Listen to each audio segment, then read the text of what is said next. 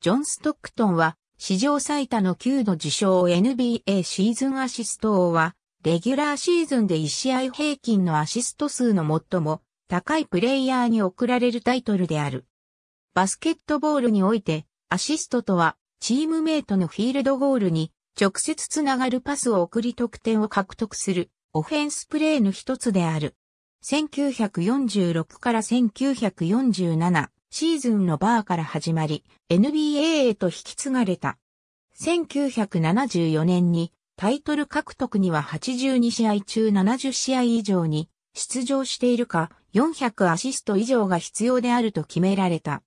1969年までは総アシスト数でタイトルが決定されていたが、それ以降、現在の1試合平均アシスト数となった。ジョン・ストックトンが NBA 記録であるシーズン1164アシスト、及び平均14.54アシストを保持している。マーク・ジャクソンが新人記録であるシーズン868アシストを保持している。タイトル獲得回数はストックトンが9回で最高である。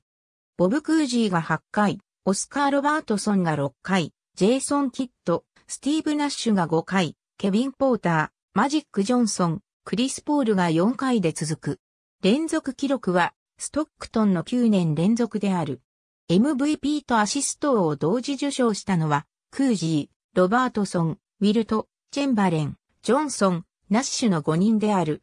ボブ・クージー・オスカー・ロバートソン・ガイ・ロジャース・マジック・ジョンソン。ジェイソン・キッド、スティーブ・ナッシュ、クリス・ポール・ラッセル、ウェストブルック BASKETBALL-REFERENCE.com ありがとうございます。